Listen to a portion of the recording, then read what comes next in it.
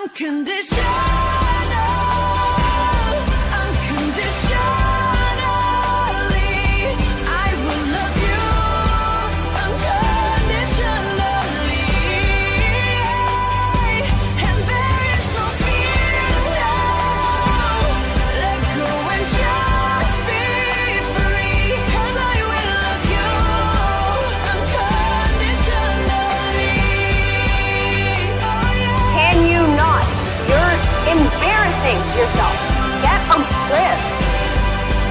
You can ignore Heathcliff.